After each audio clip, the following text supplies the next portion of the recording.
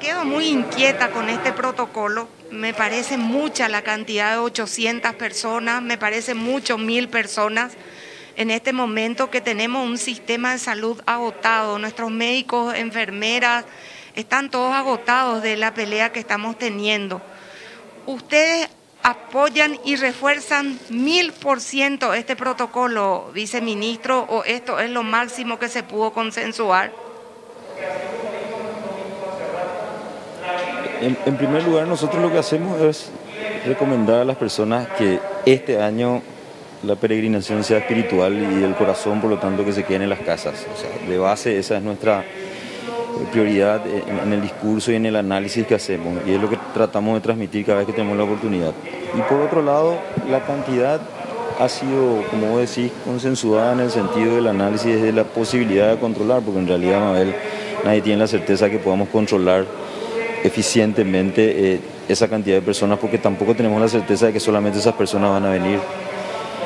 En realidad, lo que nosotros quisimos hacer es en consenso con todas las instituciones que participan de este gran evento, tratar de minimizar el riesgo de posibilidad de transmisión de esta enfermedad, entendiendo justamente y transmitiendo ese mensaje que la capacidad hoy de cobertura del sistema sanitario para acompañar este gran evento va a estar reducida por obvias razones. Entonces hay una serie de factores desde el punto de vista sanitario que hacen que la cantidad se haya reducido y que si bien se planteó prácticamente el doble, hemos llegado a esa cifra por una cuestión, por un lado, de infraestructura, de disponibilidad de recursos humanos y por otro lado, y fundamentalmente, pues el hecho de que todavía nosotros no estamos en una situación de tranquilidad como para decir, bueno, a partir de ahora podemos salir, podemos hacer lo que queramos, podemos eh, dejar de cumplir ciertas reglas sanitarias. Es decir, estamos todavía con números que no son, digamos, alentadores, estamos todavía con cifras que a nosotros nos preocupan, pero de todas maneras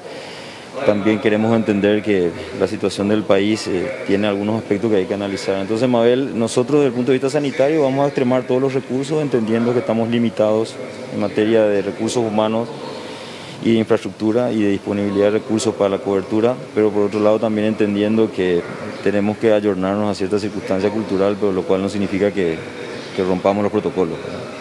Claro, durante mucho tiempo el debate fue, ¿está primero nuestra economía nuestra salud? Y ahora el debate va a ser, ¿está primero nuestra religiosidad popular o la salud? Y ahí es donde me provoca un poco de, contradicciones y me inquieta este protocolo porque se le va a poner en manos de la fiscalía va a tener que ser niñera, la policía va a tener que ser niñera y controlarle a la gente que lleve su agendamiento.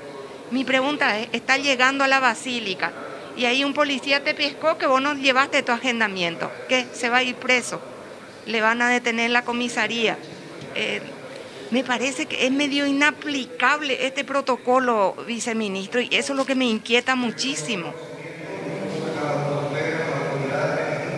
De hecho, hicimos todos los ejercicios en base a las posibilidades de los incumplimientos del protocolo, ¿verdad? Y la verdad es que este es un gran examen de conciencia social. Nosotros reiteramos el hecho de que apelamos a la conciencia de la gente y pedimos que, que no venga. Parece una contradicción, ¿verdad? Pero en realidad, como el propio mensaje del obispo decía que este año la peregrinación podría ser más espiritual y del corazón, eso significa que el hecho de no venir no va a transgredir ciertas normas de la fe cristiana para aquellos que son católicos practicantes, ¿verdad? Entonces nosotros desde el punto de vista sanitario evidentemente también tenemos ciertos cuidados y ciertas dificultades para poder decir, bueno, vamos a cumplir al 100%, pero finalmente, Mabel, aquí hay que apelar a la conciencia y nosotros en la medida en que podamos ejercer el control. Lo que vos decís, la policía no y justamente lo que dijo hoy el intendente, que nosotros no vamos a poder convertirnos en niñeros. ¿Pero qué significa eso? Significa que la gente tiene que tener un alto grado de conciencia, pero también significa que no por ello nosotros